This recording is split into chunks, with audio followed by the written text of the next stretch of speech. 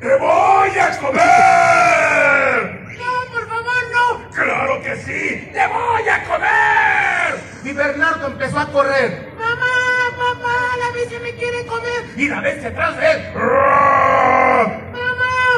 Pero adentro de la, de la casa se escuchaba una voz que decía, Ahora no, mi amor.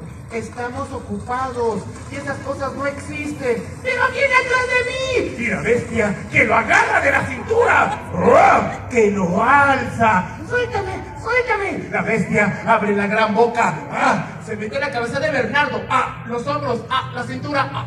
¡Ah! ¡Oh!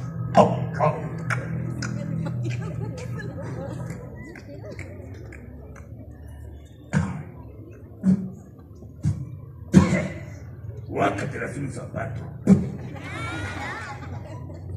La bestia se comió a Bernardo. Pero cuando la bestia se estaba saboreando a Bernardo, en la casa se escuchó una voz que decía, ¡Mi amor! ¡Bernardo! ¡Ven a, a comer! Ah, comida. La bestia se metió a la casa.